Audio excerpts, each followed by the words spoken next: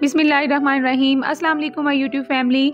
आज मैं आपके लिए बहुत ही मज़ेदार, बाज़ार से भी ज़्यादा यमी और क्रंची सैलड की रेसिपी लेकर आई हूँ, जो कि बहुत ही टेस्टी है और इसको बनाना बेहद आसान है।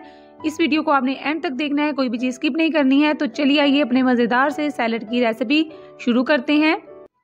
यहाँ पर मैंने एक बोल ले लिया है, उसके अंदर मैंने वन कप चने बॉयल करके वो शामिल कर दिए हैं।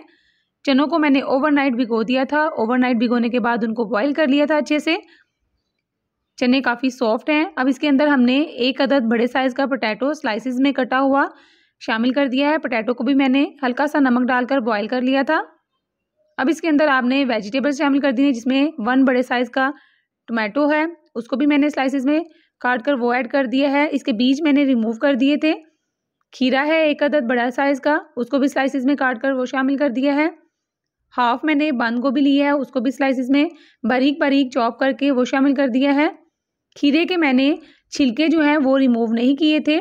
आपने भी ऐसे ही इसको अच्छी तरह से वॉश करके स्लाइसिस में काट कर शामिल कर देना है। अब इसके अंदर एक अदद सब्ज़ मिर्च जाएगी, इसको मज़ीद स्पाइसी और मज़ेदार करने के लिए।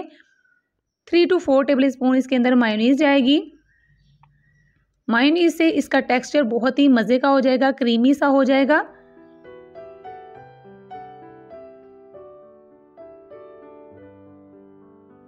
वन टीस्पून इसके अंदर चाट मसाला शामिल कर दें।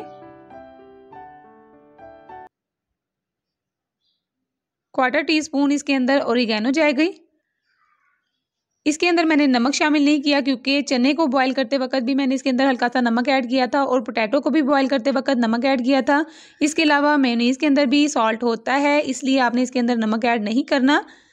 अब इसको मिक्स करके आप सर्व कीजिए, ठंडा करके, बहुत ही टेस्टी लगेगा। हमेशा की तरह, अगर आपने अभी तक मेरे चैनल को सब्सक्राइब नहीं किया तो इसको सब्सक्राइब कर लें और अगर वीडियो अच्छी लगे तो उसको भी लाइक ज़रूर कीजिएगा। ओके okay जी व्यूवर्स हमारा मज़ेदार सा टेस्टी सैलड बिल्कुल रेडी हो चुका है। अपने खूबसूरत कलर और ख़ूबसूरत सी ड्रेसिंग के साथ इस रेसिपी को आपने ज़रूर ट्राई करना है। इसको आप दावत के मेन्यू में शामिल करें या फिर पार्टी में एज अ स्टार्टर इस्तेमाल करें। बच्चे, बड़े सभी इसको शौक से खाएँगे। अपना बहुत सा ख्याल रखिएगा, मुझे भी अपनी दुआओं में याद रखिएगा। तब तक के लिए अल्लाह हाफिज़।